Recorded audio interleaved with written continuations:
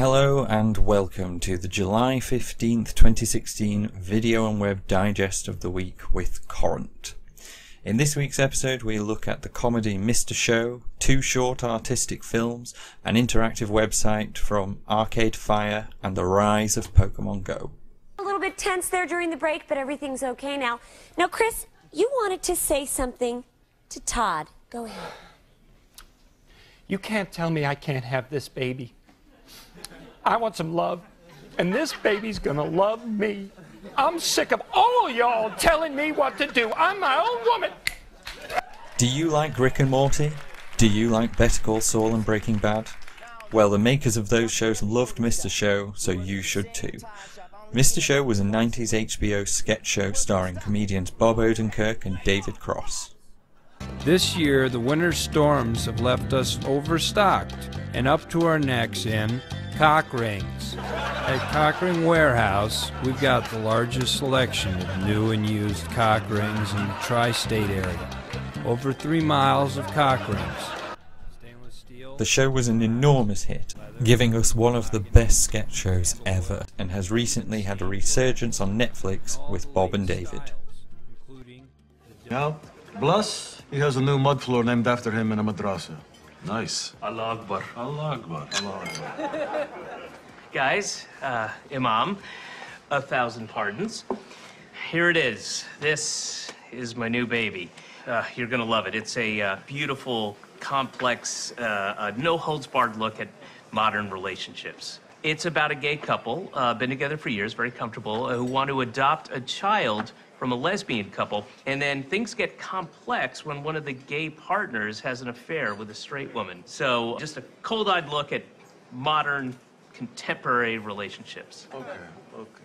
You can find all the episodes of Mr. Show on YouTube and their new series with Bob and David on Netflix, but I really recommend watching Mr. Show first. Barbican Urban Poetry is a short film which looks at brutalist architecture in London. It's a style that was most popular between 1950 and the late 80s, and it's a style that's everywhere from government buildings to high rise flats. Some people hate it and some people love it, but to some people it has a lot more meaning. A link to the film on Vimeo is in the description below. Future with Bright Lights is a video created for a Japanese building company called Kandenko. The mini paper town comes to life as the lights are connected using a silver ink circuit pen developed by AGIC, which sells for about $12. The video is meant to depict how each individual can illuminate the future. That's not me saying that, it's the company's mission statement. But stupid corporate matters aside, they've actually commissioned a pretty decent video.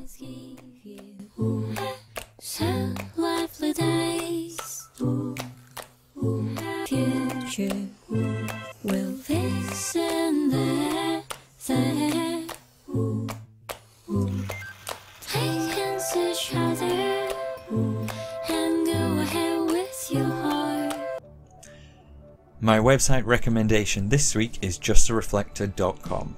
This is an interactive music video by Vincent Morisset for the band Arcade Fire, and it's well worth a look.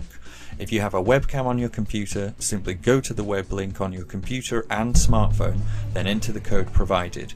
The track will start, and you can use your smartphone to control the effects in the video. So press F11, turn the lights out, and the music up. Pokemon Go has been released and literally millions have taken to the streets in search of virtual Pokemon. Pokemon Go allows you to walk around the real world finding Pokemon using your smartphone. It's the latest in the augmented reality genre, similar to games like Ingress. People have gone crazy for the game, but it's not launched without some issues. While you may be in a pleasant augmented reality, there are still the same pricks that are in the usual reality, like the group of four American teens in Missouri who were setting Pokemon beacons in areas where they could then ambush the players and rob them at gunpoint for their phone and money. The four were all arrested and charged. Or the case of Michael Baker, who in Forest Grove, Oregon was walking around at 1am when he saw someone else and he asked if they were playing Pokemon Go, so they stabbed him in the shoulder. saw him go by and I was like, "You playing Pokemon Go or whatever, you know?" And he's like, what? I was like, Pokemon Go. And then, like, I guess he wanted the battle or something because he just came at me with the knife. But that didn't put off Baker, who continued looking for Pokemon. He ended up needing 8 stitches in his shoulder. So maybe don't play Pokemon Go in a well known gang attack area or near cracked ends. But even then, remember you are still in the real world, as the Los Angeles Times has already had reports of people wandering into schools and hospital rooms searching for Pokemon. I can also imagine some people will be using Pokemon Go as an excuse for visiting some obscure places. There was a Machop in there, and that's the only reason I was in there. And this is fertile new ground for the inventive rapist. But some places are already having to put up signs to tell people not to come into their building or property just looking for Pokemon. And my favourite was the Washington DC Holocaust Museum, which actually had to ask people to stop coming there to find Pokemon. Which is weird because the Nazis and Pokemon basically have the same catchphrase.